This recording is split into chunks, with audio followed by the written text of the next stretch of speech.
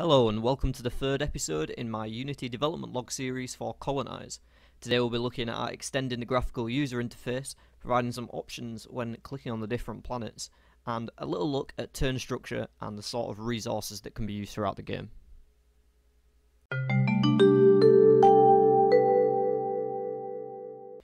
Before we get into the bulk of this devlog, uh, there are a few changes that I made since the last video.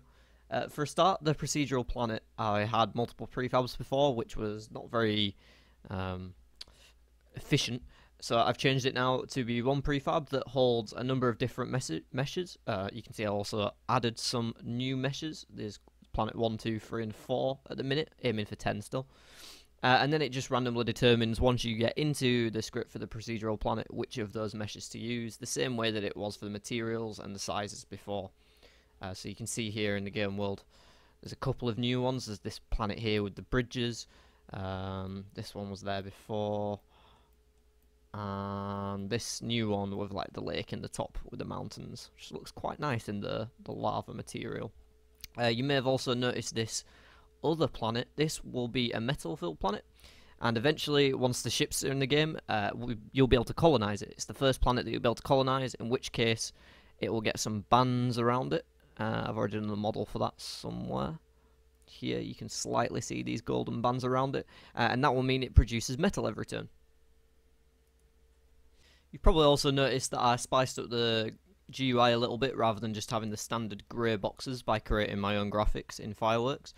Uh, that can be seen down here with the selectable planets and also along the top row here with the different resources being shown and the turn count.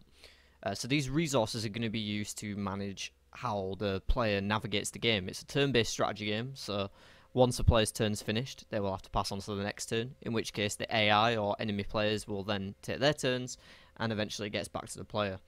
Uh, so this first one here is the amount of actions the player has. You can see there when I hovered over it, I also created a tooltip, which I'll go over in a second, how I did that.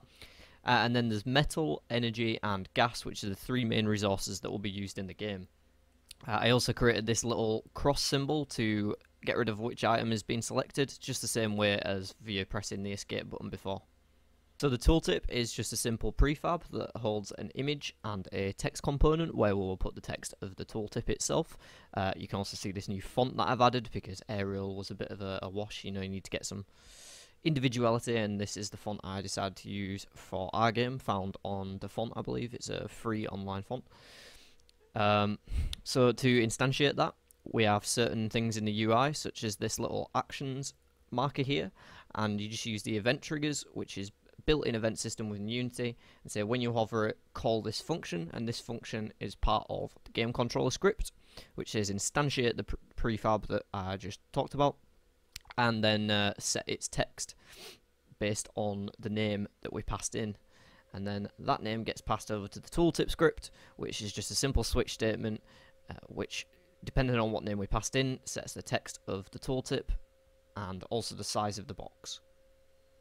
Maybe wondering where those stats in the top bar are actually coming from, and I created a new class called Player to manage this. So it keeps track of the current actions, metal, energy, and gas a player has, and how much they're earning per turn. Uh, it's also got a reference to the game control because most of the scripts in this program need access to the game control. Uh, a list of the ships that player owns, and when it's finished loading, we can kick the relevant functions in the game controller. So it has a function to add a new ship, which is just adding it to this list whenever a new ship is created. Uh, it can govern the new turns. It has some initial things to start off with, so the actions per turn a player starts with at the beginning of the game will be three, and this can be increased via adding living quarters and such. Uh, also changing the basic resources, set checking to see if the turn has ended, uh, aka if they've run out of actions and there's nothing left they can do, and then just some other stuff that can be used to see if they have enough actions left to do a specific um, task, or if they can pay to create a new ship or building or whatever it is. I then created some button prefabs, and every selectable object in the scene has this little list of buttons uh, that are added to the GUI when that object is selected. And then to determine which buttons they have, we can set them in the relevant scripts for each object. So here in the home planet, you can see I've dragged over the gain metal button, gain energy button, and the build button. And then in the script for home planet, when it launches up, it's just populating the selectable list with those buttons, and then in Game Controller, when that object is selected, it will place the buttons on the screen, meaning we get the end result of something like this, with a slight offset being added. Uh, and these buttons are used for different actions in the game. So every planet will, every planet and every ship will have potential actions once you own it. Uh, for example, here, the home planet has the option to spend an action to gain one metal, spend an action to gain one energy, or to open the build menu, uh, which hasn't been created yet, but will be soon. So spend an action to gain a metal. You can see that the actions go down and the metal goes up. Same for the energy there, and once again for the metal one.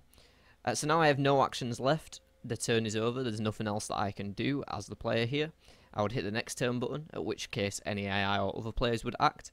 Uh, at the moment, there's none in the game, so it's just going to go straight back to my turn, refreshing with three new actions and allowing me to do the same things again. One final thing I implemented at this stage was a simple error message that can pop up when you try and take an action uh, that is unavailable to you. So for example, if you don't have any actions left when you try to click one of these buttons, the error message just flashes up that you have not enough actions remaining. The same thing will happen if you're trying to build or create something that you don't have enough resources for, and it will tell you whether you don't have enough metal, energy, gas, or actions, whatever the error is.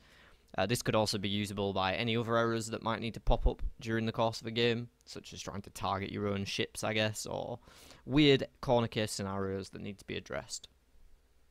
And that's all we've got time for in this episode. Next time we'll be looking at this building menu, uh, which I just made a start on, but at the minute there's no information on it and it's not being dynamically populated.